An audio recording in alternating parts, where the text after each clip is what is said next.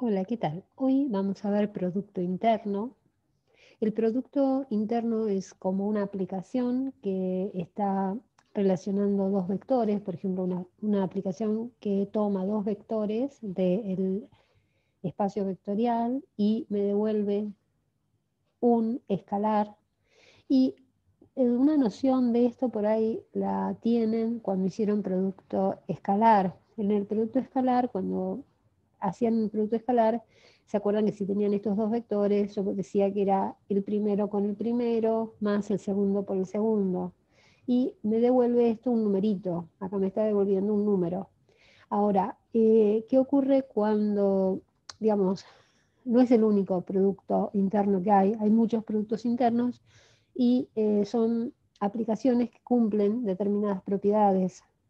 El más, entonces, este que vieron acá, o el Producto Interno canónico también, sería el que multiplica un vector por su vector traspuesto. En algunos países usan esta notación al revés. Yo uso vector como la, digamos, la agrupación horizontal de estos elementos y el traspuesto como vertical. Eh, eso dependerá de dónde estén pero el concepto es básicamente el mismo. Y para los que estudian otras carreras eh, más eh, tecnológicas, recuerden que un vector, ustedes siempre le ponían una flechita arriba muchas veces. Yo no le voy a poner eso porque, eh, para no confundirme con el conjugado, porque en el caso de los complejos, el producto interno, por ejemplo, canónico, sería el vector, uno de los vectores por el conjugado y traspuesto del otro. Es decir, conjugado en el sentido de los complejos, donde está la i le cambian el signo. Bueno, dicho esto, esto es como que es una aplicación entonces entre dos vectores en K, o eh, por ejemplo, si yo fijase uno de estos vectores, por ejemplo, fijase el W, eh, tendría, digamos, aplicaciones de B en K que podrían pensarse como aplicaciones dentro del dual.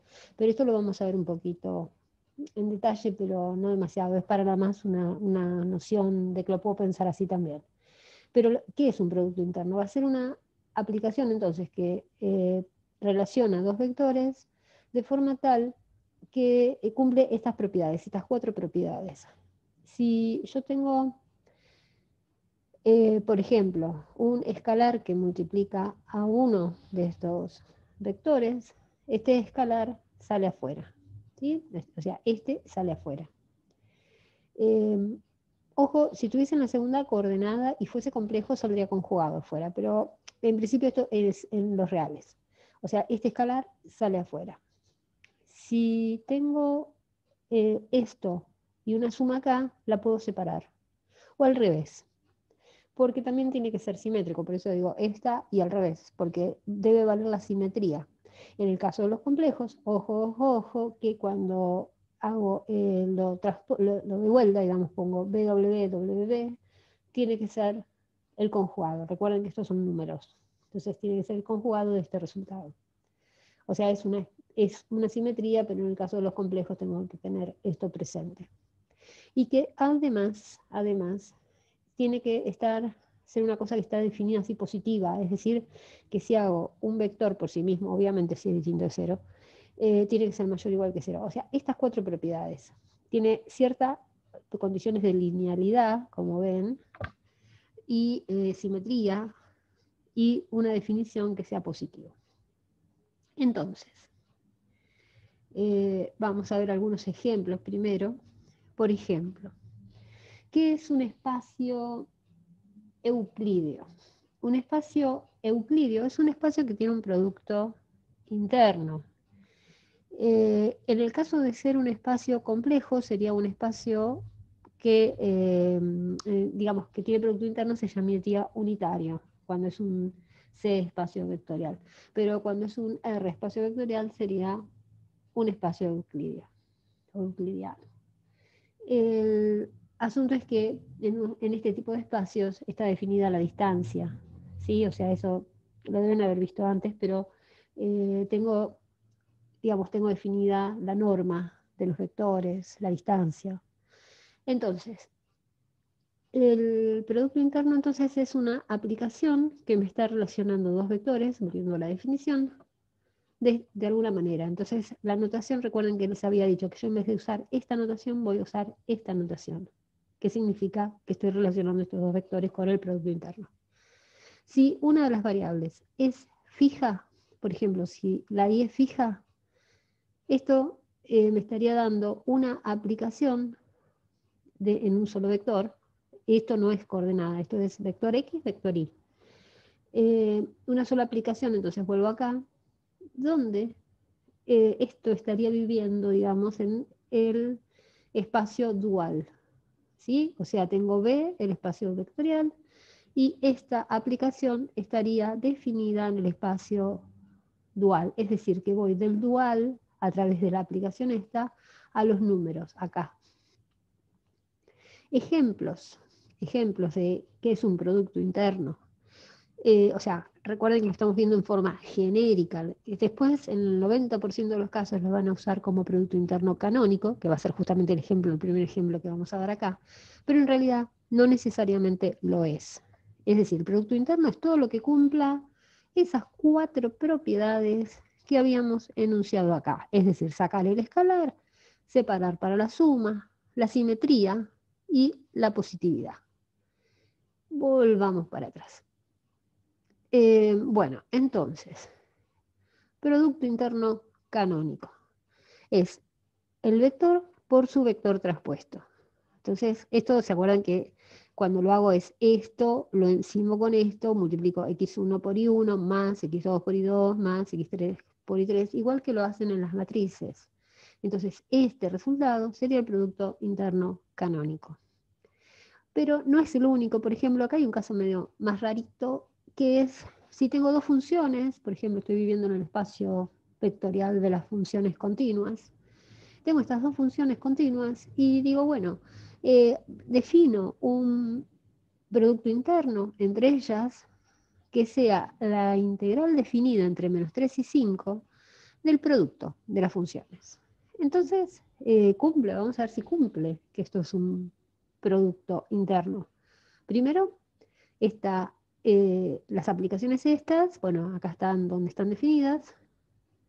Y fíjense que quiero ver si cumple que la suma se puede separar. Eh, acuérdense que por la simetría esto es lo mismo que esto al revés, así que bueno, acá lo, escribí así, pero digamos, podrían poner f acá y acá h más g. Entonces, vamos a separarlo. Phi en f más g más phi en h más g. Quiero ver si esto se cumple. Entonces, hago la integral, la aplico a esto, la primera de las funciones, que es esta suma, por la segunda diferencial x. Hago propiedad distributiva, que está definido, pero ojo, que no es composición, es producto, ¿eh? esto es producto. Entonces, eh, puedo distribuir, eh, hago la distributiva de dos funciones, me da un producto de funciones continuas acá y uno acá. Quiere decir que esto y esto son la aplicación en FG y la aplicación en HG. Quiere decir que se cumple la primera propiedad. Podemos verificar la segunda, o bueno, le, cambio el orden, pero bueno, esta propiedad del escalar por la función, bueno, esto, esto se va a cumplir porque si yo aplico la definición que me dan de producto interno, en este caso, puedo sacar este alfa fuera de la integral y obtengo alfa por la aplicación por el producto interno que me definieron. Obviamente la simetría también está dada. ¿Por qué? Porque si aplico esto, eh, tengo que ver que es igual a esto. Bueno, y tengo un producto acá, un producto de, en realidad, de dos funciones que es lo mismo, es conmutativo. Así que no hay drama, es igual. Y la última sí es definida positiva, y esa también es obvia porque si f por f me da f cuadrado, estoy integrando números, digamos, entre menos 3 y 5, siempre una función que siempre es positiva. Por lo tanto, el resultado de esta integral también es positiva. Por lo tanto, esto es un producto interno. Cumple las cuatro propiedades que habíamos dicho antes. Norma. ¿Qué es la norma? Norma eh, de un vector es, eh, digamos, es hacer el producto interno del vector con sí mismo. Si estoy en el canónico, sería, por ejemplo, la primera coordenada al cuadrado más la segunda al cuadrado y la raíz de ese resultado. O sea, Esto eh, es, ya lo conocen, pero es siempre es cada una de las coordenadas elevadas al cuadrado, raíz cuadrada, en el producto interno canónico. O producto interno, el producto escalar creo que lo llaman. Eh, esto se anota cuando estos son vectores, esto se puede anotar directamente así con dos rayitas, que no es lo mismo que cuando hay una, porque una quiere decir para un escalar, entonces, una, por ejemplo, esto sería el módulo de un número que me, da, me devuelve el resultado positivo, pero esto es para vectores. Entonces, eh, la notación entonces va a ser que para la norma de un vector, que básicamente para los que estudien, por ejemplo, física o, ingeniería, eh, cuando hablan de módulo de un vector, ¿Se acuerdan que es como que lo puedo representar por el tamaño de la flechita o la intensidad de la fuerza o la, eh, qué sé yo, la distancia, eh, no la distancia, sino eh, la posición y esas cosas? es este tamaño, digamos. estaría representando así visualmente como si fuese esto. más allá, esto no, para matemáticos no, digamos, es una definición que sería que para todo vector en el espacio vectorial B, el módulo B tiene que es, algo que está siempre definido positivo, que el escalar sale como módulo afuera, ¿sí? Y que me cumple esta desigualdad, que es la desigualdad de Schwarz. Es decir, yo tengo esto y este, vector B y este vector W, estoy siempre haciendo representaciones en R2, pero esto es para todo vector en todo el espacio. No lo puedo dibujar, pero digamos, eh, para que tengan una visualización. Eh, si yo hago esta suma de estos dos vectores, me estaría dando este resultado. ¿sí? Si esto sería B más W, este tamañito, digamos, siempre es más chico que sumar los dos por separado. Y esa sería la, básicamente esta desigualdad, la última. O sea, esto cumple una norma. Em, Después, otras definiciones, esto es todo definición. Eh, no se asusten, después voy a hacer un video de cómo se utilizan los métodos de Gran-Smith y demás, pero eh, esto es más que nada para que tengan un concepto general de lo que es este tema.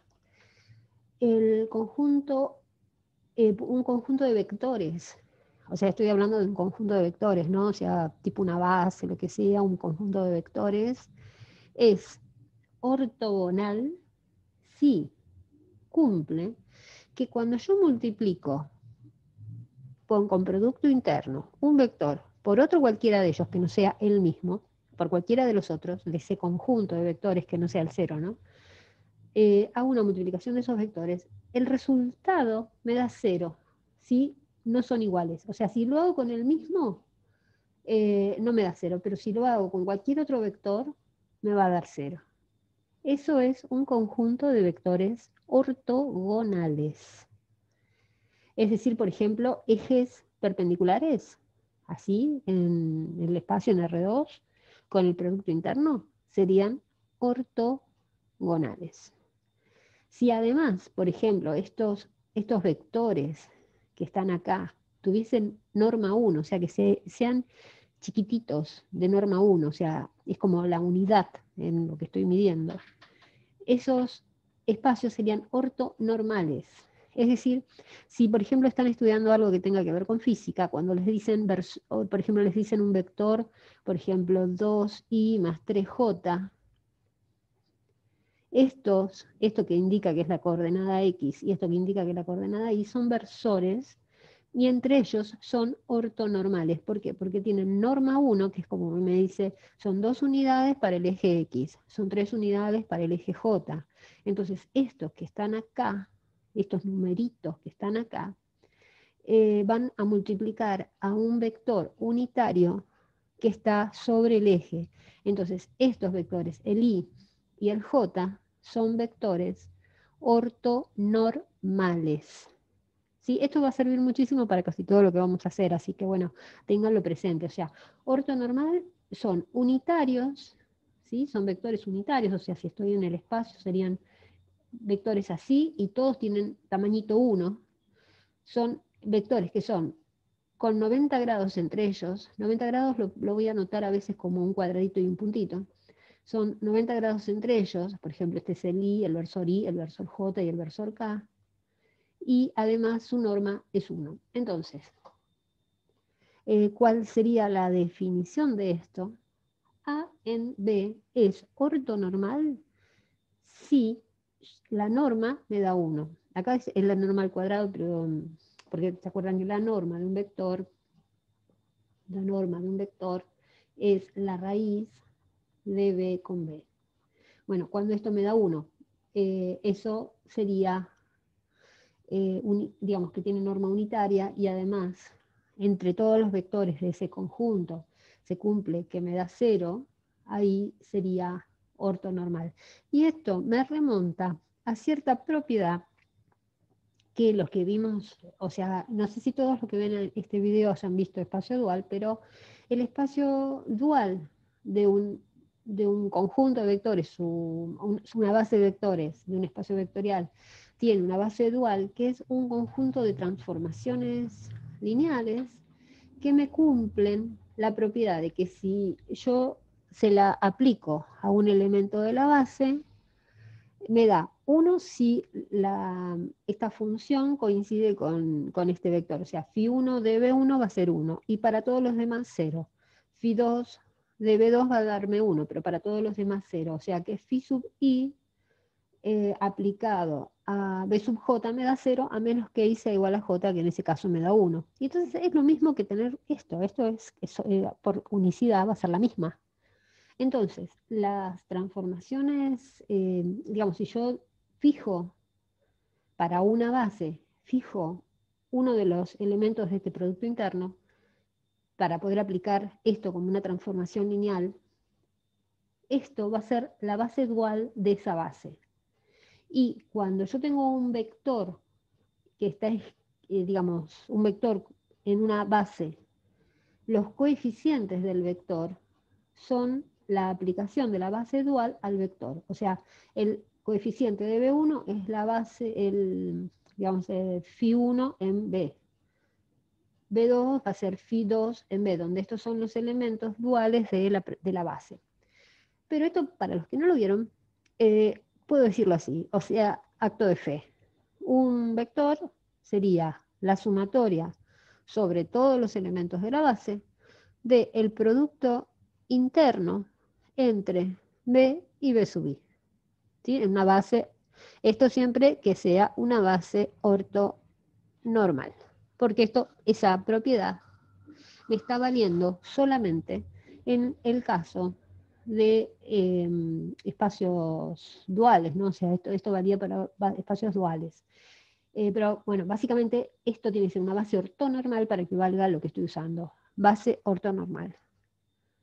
Em, bueno, eh, ¿por qué pasa esto? ¿Ven? Que BI y BJ me da 0 si I es distinto de J. Y si acá tengo II me da 1. Entonces, esta expresión es única. ¿Qué es una proyección? Bueno, acá estamos en, un tema que vamos a utilizar mucho cuando veamos Daniel Smith, que es, ¿qué es una proyección? Una proyección, eh, se deben acordar, una proyección es tomar este vector, lo proyecto, o sea, esto lo, hacían también en física o en, en geometría, y lo que me da acá, esta, como esta sombrita, por eso se llama proyección, ¿no? O sea, como que acá pongo el sol, veo la sombrita de este palito acá. Esto es la proyección de este vector sobre esta dirección, la dirección de este vector. Bueno, básicamente es eso, pero vamos a escribirlo matemáticamente. Entonces, si yo tengo una base B1, BR, de un espacio vectorial, ojo que es R, no N, o sea, es un pedacito del espacio vectorial, una base de un pedacito, de un subespacio. Y tengo eh, otra base prima, que completa esa base. Si yo sumo estas dos, me da una base del espacio vectorial B, por ejemplo. Y eso voy a decir que es del perpendicular, de, o perdón, del ortogonal de este, eh, la voy a definir de esta manera, o sea, una base definida así, que eh, cualquier i y cualquier bj me da cero si el i está en la de acá arriba y j está en la de acá abajo, es decir, un elemento de ese y un elemento de ese ortogonal. Esto me va a dar cero. no hay nada en la intersección, solamente el cero. Entonces, el espacio vectorial lo voy a poder escribir como S más suma directa, S ortogonal. Esto quiere decir que todo el espacio vectorial van a ser o vectores de S o vectores de S ortogonal y no hay nada en la intersección. No hay un vector ortogonal a, otro vector. Bueno, entonces, el vector, eh, cualquier vector del espacio vectorial se va a poder entonces escribir como un vector de la base D y un vector de la base ortogonal, de, que lo voy a llamar T. Entonces, si yo le aplico una nueva aplicación que vamos a definir, que se llama la proyección de S, va a ser igual a, me va a devolver la combinación lineal que esté acá, o sea, me va a devolver S.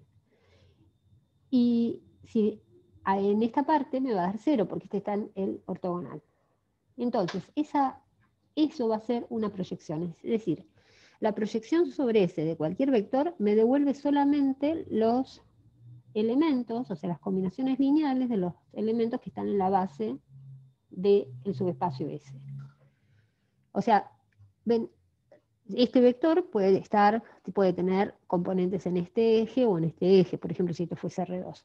Bueno, cuando lo proyecto, solamente la proyección me devuelve la componente esta, si estoy en R2, me está devolviendo la componente ponerle en el eje X. Entonces, eh, esto, ojo, que va extendido a dimensiones más grandes, ¿no? Entonces voy a decir que el núcleo de una proyección, el núcleo, son todos los elementos que estén en el subespacio ortogonal. También lo llaman Kerr en algunos países, al núcleo. ¿sí?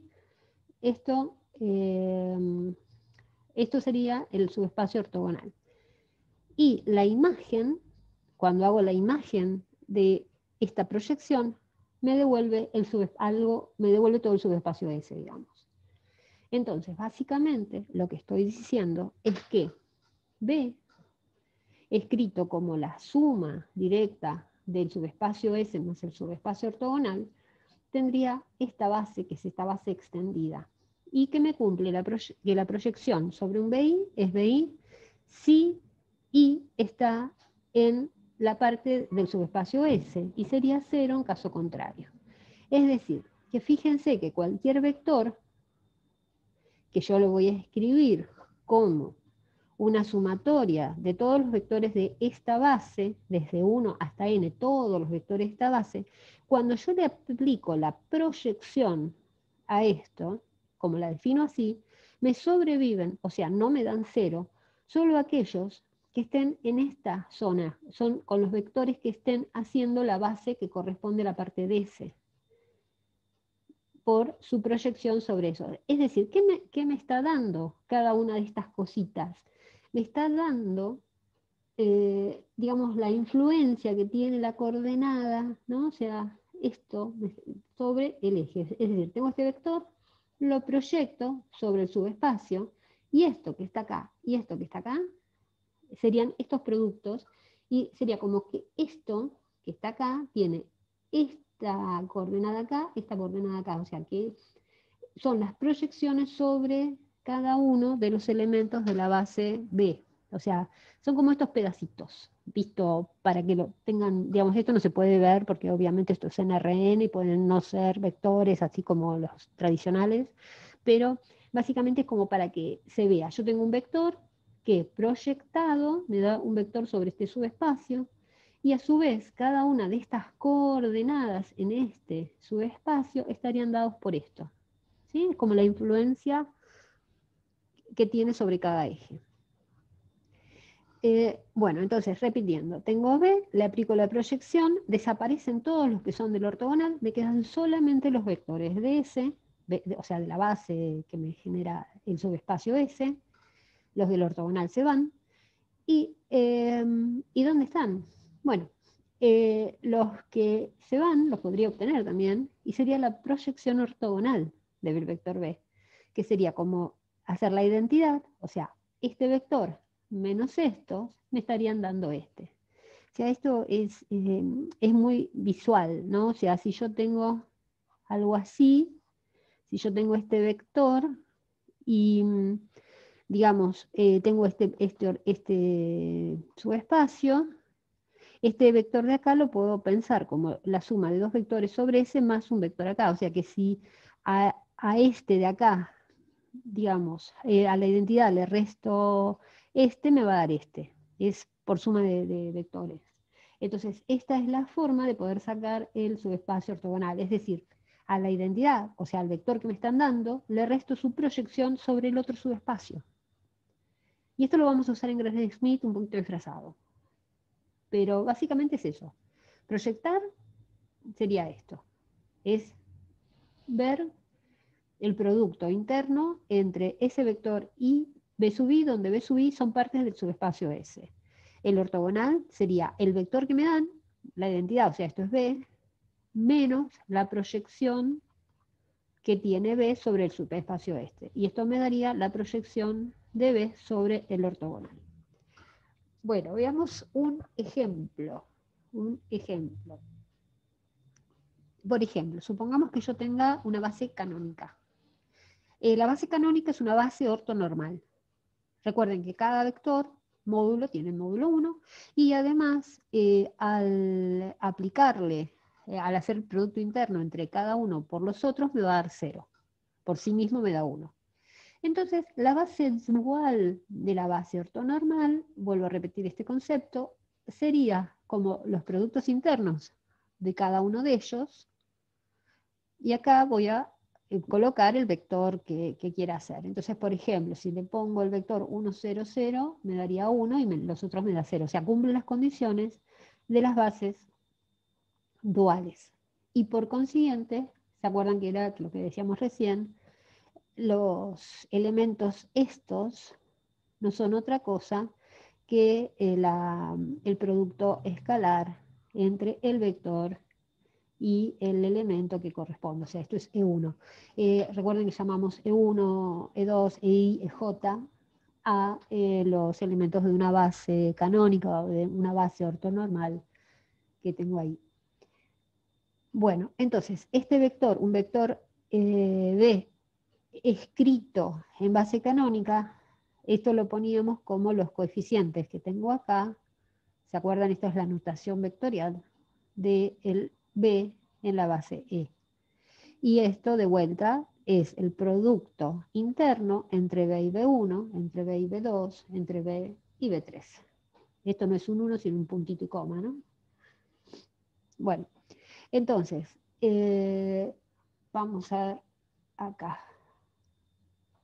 Ah, bueno, supongamos que quiero la proyección de un vector sobre el eje Z y que tengo esto, una base que está dada por estos dos vectores y el eje z es este tercer vector, es la base del espacio ortogonal. Y ortonormal porque norma es 1. Entonces, básicamente, fíjense que entonces el vector B era ABC, lo podía escribir así, su proyección, su proyección eh, eh, sobre el eje Z la puedo sacar de esta manera. Y si hago la cuenta me, da, me devuelve la coordenada Z.